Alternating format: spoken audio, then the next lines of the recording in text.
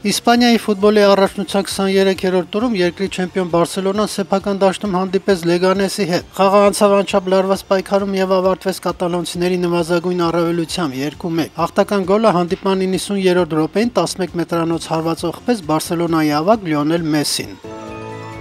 Իտալական Պեսկարա թիմը ամենախոշոր հաշվով հաղթանակը տարավ Ասերիայի առաջնությունում։ 25-րդ տուրի խաղում Զդենեկ Զեմանի սաները սեփական դաշտում 5-0 հաշվով ջաջախեցին Ջենովային։ Իդեպ սա 69-ամյա մասնագետի առաջին հանդիպումն էր Պեսկարայի գլխավոր մասչի պաշտոնում։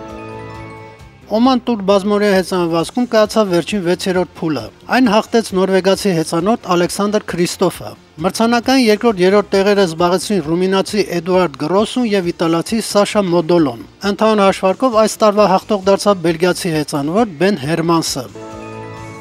Հոկեյ ազգային լիգայի կանոնավոր առաջնության հերթական տուրում Նյու Յորք Ռեյնջերսը սեփական սահադաշտում ընդունեց մրցաշարի առաջատար Վաշինգտոն Կեպիտալսին։ Հանդիպման 49-րդ րոպեին Մած Ցուկարելոյի խփած գոլի հաշվին տանտերերը 2-1 հաշվով դժվարին հաղթանակ տարան։ Ռեյնջերսը 77 միավորով պահպանեց իր դիրքը 5-րդ հորիզոնականում, իսկ Վաշինգտոնը 85 միավորով դեռևս շարունակում է գլխավորել մրցաշարային աղյուսակը։